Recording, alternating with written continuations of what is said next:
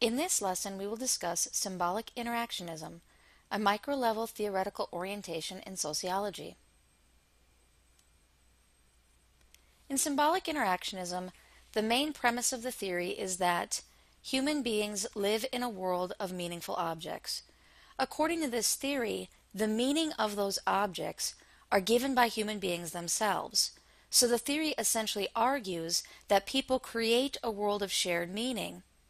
Now, if we look at the component words of the theory, symbolic interactionism, and we break this down into symbols and interactions, we can get a more proper and appropriate sense of how the theory understands the world as being built up through a series of symbolic interactions that create this world of meaningful objects. The objects for symbolic interactionists may include material things, but also includes other people, relationships, patterns of communication, and other symbols that exist in the world. Now, symbolic interactionist theory can be somewhat abstract at first, but we're going to try to make it more concrete through our continued discussion of those two component words of the theory, symbols and interaction. Let's first start with the word symbol. Now, a symbol is a representation of one thing for another thing.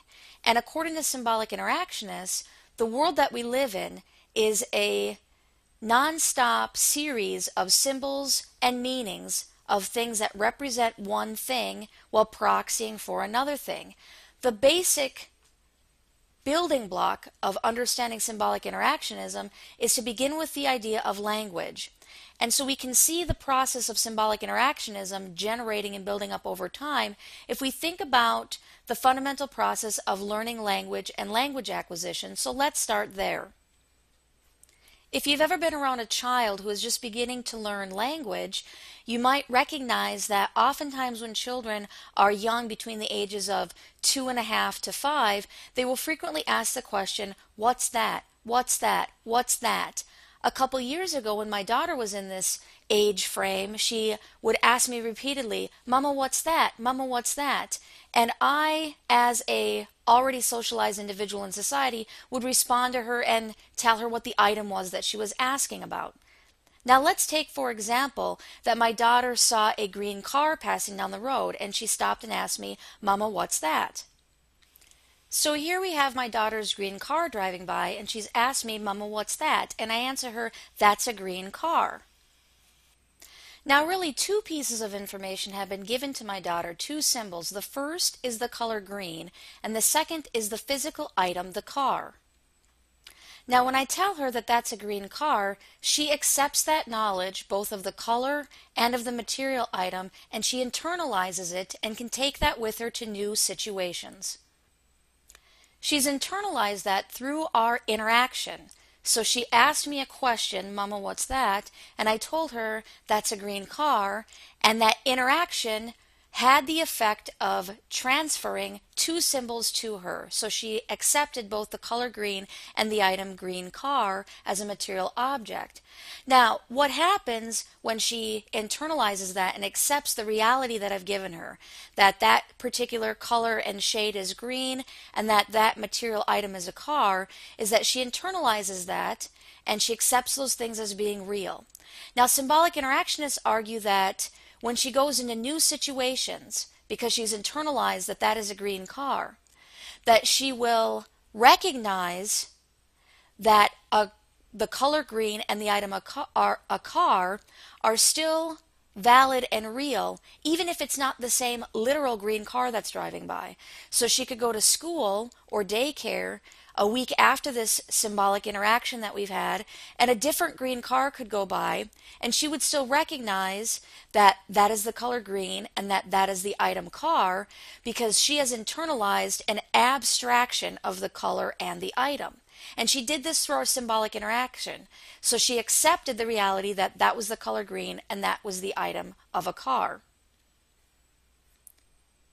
Now, symbolic interactionists argue that this sort of process of transferring knowledge from one person in society to another happens an endless number of times and that's how we build that world of shared meaning is that some people in society tell others what particular items are and then the meaning of society builds up over time. People accept that as real, and that's how we create society together.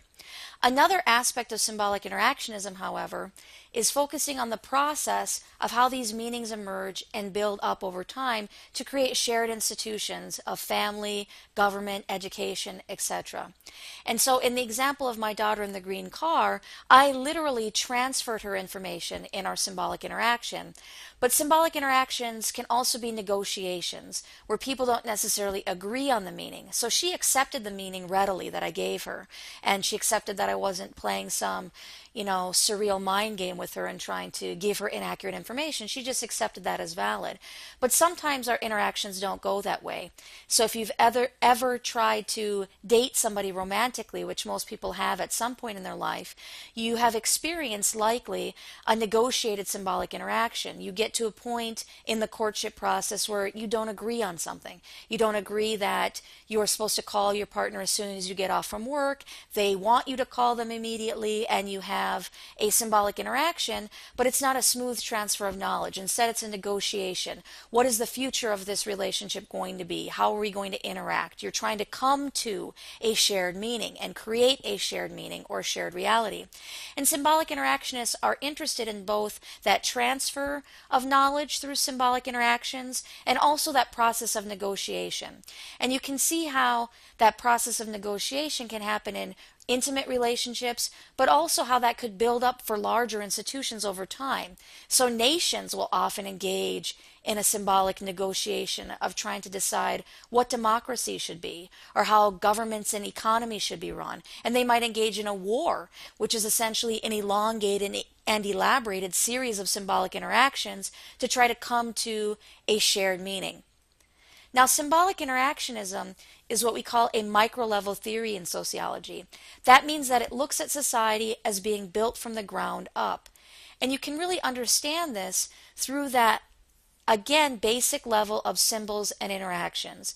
That the interactions that we have build meaning for our lives together as subcultures, families, nations, and other institutions. And it's sort of a mushroom mushrooming or billowing effect that generates an entire society based on these same component processes of symbols and interactions. An element or a part of symbolic interactionism is called interpretive sociology. Interpretive sociology is a perspective based on the idea that a sociological understanding of behavior must include the meaning that people give to what they do.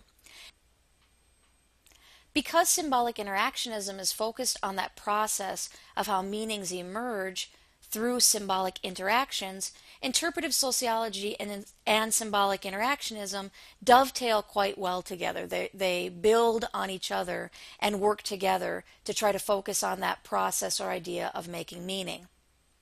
In this lesson, we covered the basic idea and components of symbolic interactionism theory, a micro level orientation in sociology.